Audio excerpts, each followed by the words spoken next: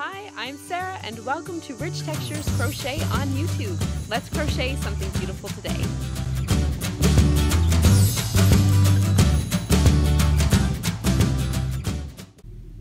Hello everyone, I'm Sarah of Rich Textures Crochet and welcome. Today we are going to learn how to crochet the Peekaboo Baby Blanket, which is the blanket seen here in this photo and I'll show you a little bit of it here. Um, this is the one that I have made. The blanket is comprised of a moss stitch pattern for the body of the blanket and then it has a simple edging made with single crochet stitches and puff stitches. So this is a great blanket if you're looking for a beginner project.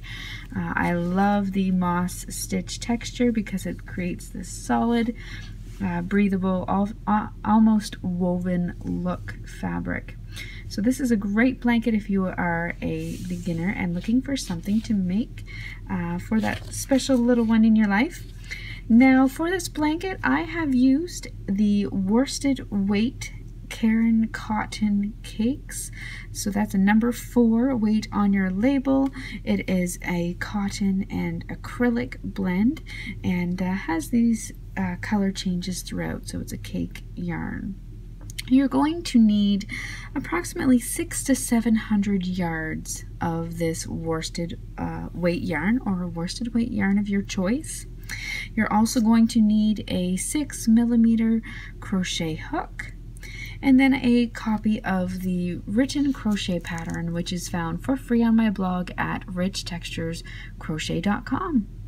Thank you so much for joining me for this tutorial on how to make the Peekaboo baby blanket. While you're here, please don't forget to subscribe. So to begin our Peekaboo baby blanket, you're going to take your worsted weight yarn and your six millimeter crochet hook and you're going to start by making a slip knot. The body of this blanket is worked in rows, so you're going to be working back and forth and turning your work at the end of each row. So the first thing you're going to do is make a slip knot and you're going to start by making a foundation chain of 118 chains.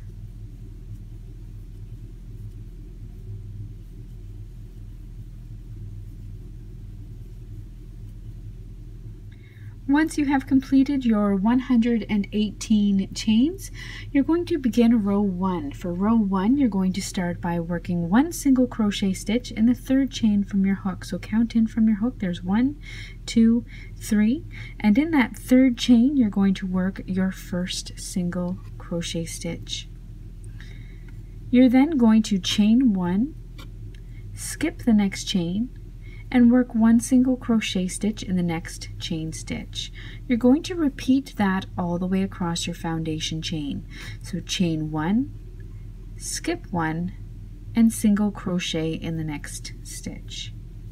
Chain one, skip one, and single crochet in the next stitch. So repeat that all the way across your work to your final chain in that foundation chain. When you reach your final chain, you will place your final single crochet stitch in that chain and get ready to begin row two. At the end of row one, you're going to chain two and you're going to turn your work.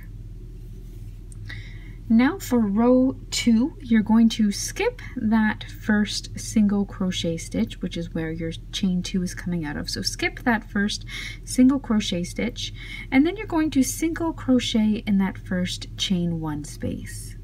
So simply in that chain one space, insert your hook, yarn over, drop a loop, yarn over and pull through your two loops. Your first single crochet stitch is worked in that first chain one space. You're then going to chain one, skip the next single crochet stitch, and work a single crochet stitch in the next chain one. You're going to repeat that all the way across. Chain one, skip the next single crochet, and single crochet in the next chain one space. This is what's going to form your moss stitch pattern. chain one, skip the next single crochet, and single crochet in the next chain one sp uh, space. You're always going to be working your single crochet stitches into those chain one spaces. So you're going to continue that all the way across. When you reach the end of your row, you are going to work your final single crochet stitch into that final uh, chain two space. And it's important that you always remember to work your final single crochet into that chain two space. Otherwise uh, your work will have uh, slanted or uneven edges. So always remember place that final single crochet into that chain two at the end of row two once you've worked that final single crochet you're going to chain two and turn your work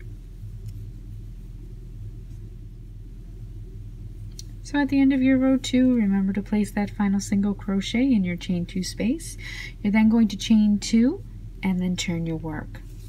Now for row three and for the rest of the rows for the body of the blanket hereafter, you're simply going to repeat that row two. So skip that first single crochet stitch and single crochet in the first chain one space.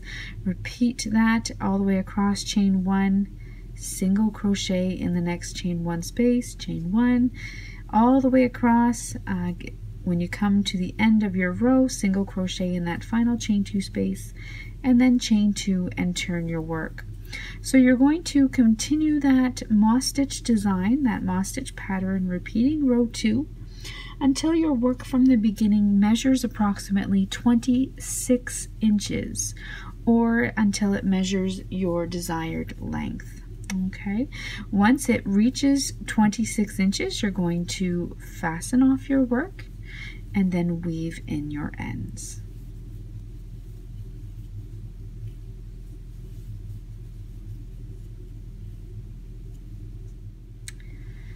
Okay, so now you will have worked uh, the body of your blanket worked in this moss stitch and you will have worked approximately 26 inches or your desired length and you have this solid um, square piece of fabric. We're now going to begin working on the edging of our blanket. So with the right side of your blanket facing you, or whatever side you would like, because both sides will look relatively the same with the moss stitch, you're going to join your yarn with a slip stitch in the top right hand corner stitch.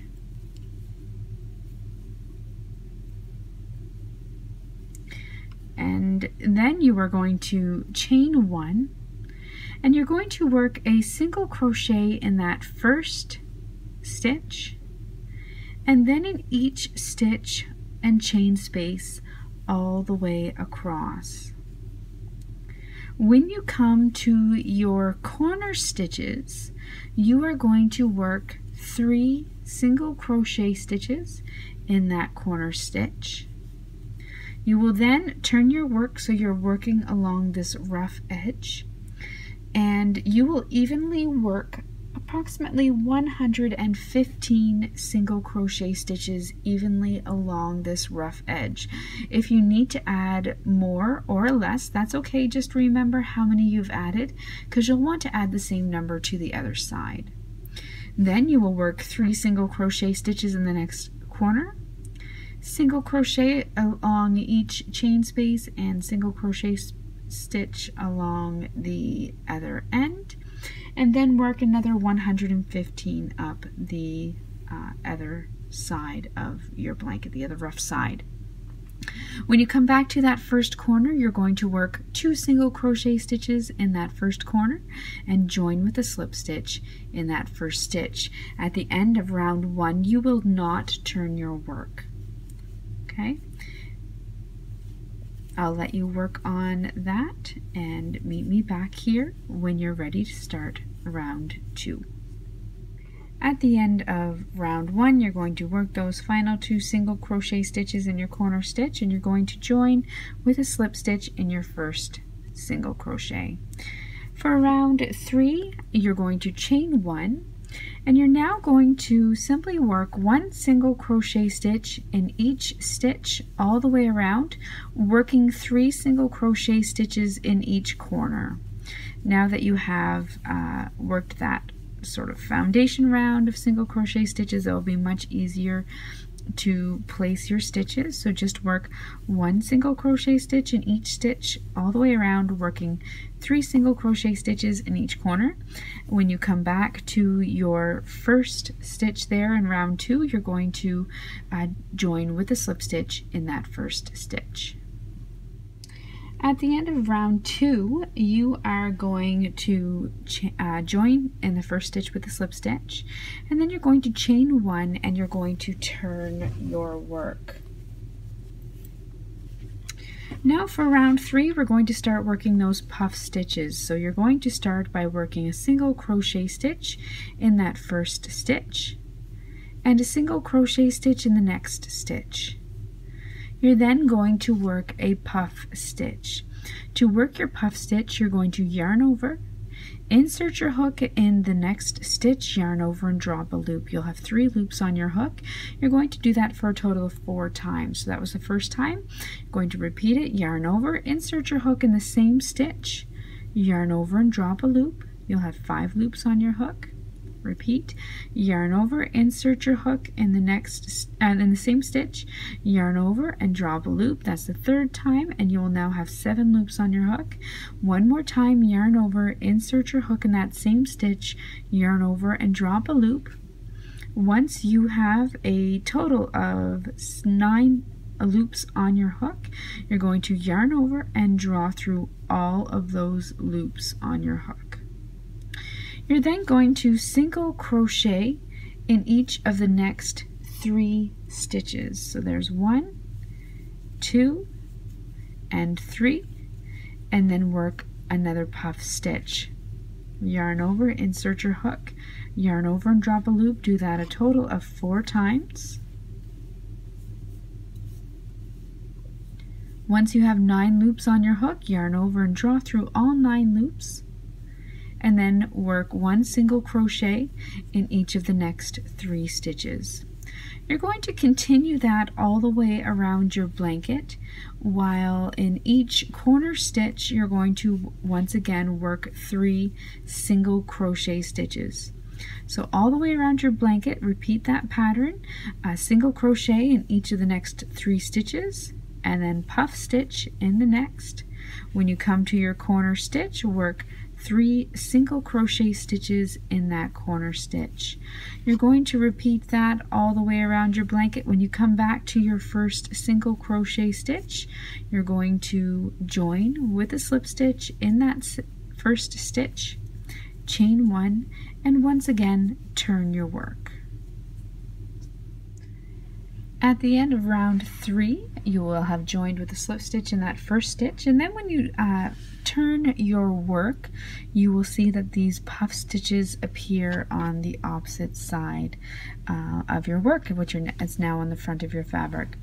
Now what you're going to do for your final two rounds, you're simply going to chain one and uh, repeat round two and single crochet in each stitch each single crochet stitch and each puff stitch all the way around working three single crochet stitches in each corner so you're going to do that for a total of two more rounds uh, at the end you will join with a slip stitch and fasten off your work and then weave in your ends and at that point you will have completed your peekaboo baby blanket so thank you so much for joining me once again. The free written uh, pattern can be found on my blog at richtexturescrochet.com.